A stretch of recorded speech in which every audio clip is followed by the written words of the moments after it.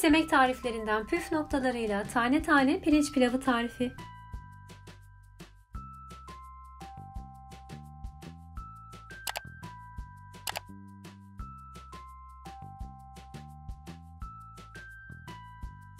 Bol su ile yıkadığımız 2 su bardağı pirinci uygun bir kaba alalım. Pirinçlerin üzerine gelecek kadar ılık su ekleyelim. Biraz da tuz ilave edip karıştırdıktan sonra yaklaşık 15-20 dakika pirinçlerin nişastasının çıkması için bekleyelim. Pilav tenceresine 3 yemek kaşığı tereyağı ve 1 yemek kaşığı sıvı yağ alalım.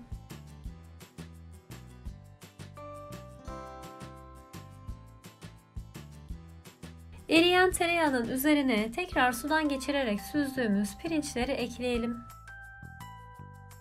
Pirinçler tane tane oluncaya kadar kavurmaya devam edelim.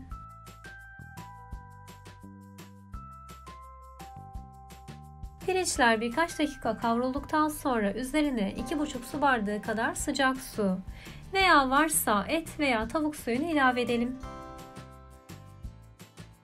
Son olarak tuzunu ekleyip karıştıralım ve tencerenin kapağını kapatalım. Dilerseniz pilavınızda yarı yarıya tavuk suyu ve sıcak suyu karıştırarak kullanabilirsiniz. Tavuk suyunuz yağlı ise su ile karıştırmanızı tavsiye ederim. Ancak çok yağlı değilse tamamını tavuk suyu ile hazırlamanız çok daha lezzetli olacaktır. Pilavın üzeri göz göz olduğunda yani suyunu çekip pilavın üzerinde nokta nokta delikler oluştuğunda pilavımızı kısık ateşe alalım. Pirinçler yumuşayıp suyunu tamamen çekinceye kadar biraz daha pişirelim. Pişen pilavımızı ocaktan aldıktan sonra üzerine kağıt havlu serelim. Kapağını tekrar kapatarak pilavı 10-15 dakika dinlendirelim. Yeterince dinlendikten sonra pilavı tahta kaşık ile karıştırarak servis edebilirsiniz. Deneyeceklere şimdiden afiyet olsun. Bu tarifle ilgili olarak bugüne kadar yapılan binlerce yoruma ve gönderilen fotoğraflara Nefis Yemek Tarifleri uygulamasından ulaşabilirsiniz.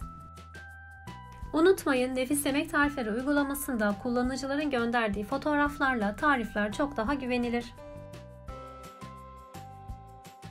Bizi izlediğiniz için teşekkürler.